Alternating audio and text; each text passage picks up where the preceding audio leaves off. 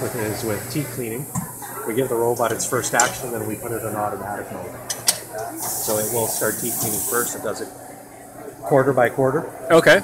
Uh, the teat cleaner, there's only one. Mhm. So the teat cleaner itself is completely separate from the rest of the milking module. So your Okay. first milk that comes out in any wash water does not contaminate the good milk going to the bulk. Makes sense. kept.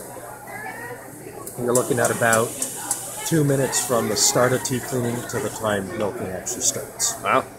Average stall time anywhere between six minutes thirty and seven minutes. Yeah. is what we're looking for. Yeah, the milking machines these days. It's come a long way from a, Certainly has.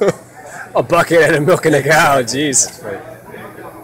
That's crazy. And you also see that at the top you've got the camera with lasers that flash. Mm. That helps in identifying that it is a teat there. Yeah. First time a cow ever comes into the robot, you have to teach it. You got a joystick here.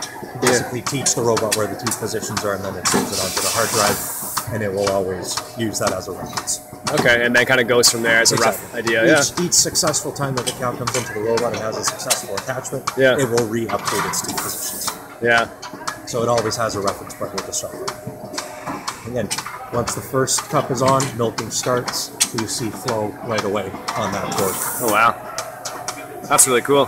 So we don't wait until our, all four are attached. Another advantage for that about doing quarter milking is that if ever you have a kickoff, so she steps on one of the hoses, it falls off. Yeah. Instead of milk, instead of stopping milking on the other quarters, Yeah. it'll just stop that one quarter that's fallen off, Wow. retracts the cup into the magazine, disinfects the cup, Yeah. arm goes back, grabs it, reattaches it. So, for example, she just stepped on it, she kicked it off. Yeah. See the arm come back, you see it get retracted. It goes back and gets it And reattaches. and reattaches. Again, I don't have the cleaning turned on, but that's something that you can turn on. Yeah, yeah. That all depends on on what you prefer. Mm-hmm. Interesting. Other advantage of quarter milking is that you will never over milk one quarter over the other Yeah. because of flow rates.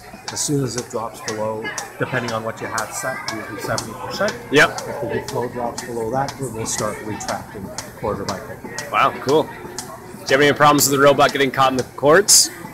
Uh, the arm, you mean? Yeah, so the arm. No. No? No, because of that camera around, it's able to navigate around. Yeah. Hmm. You said how long is it? Two minutes before when it's from when it starts? From start of cleaning to the point that all four milkers are attached to start milking, Yeah. you're looking at about two minutes. wow. And then another four and a bit to finish the milking. process. Yeah. Does it in quarters too? Yep, Oh, interesting. Just retracts them back in there as well. that's it. Wow, nice.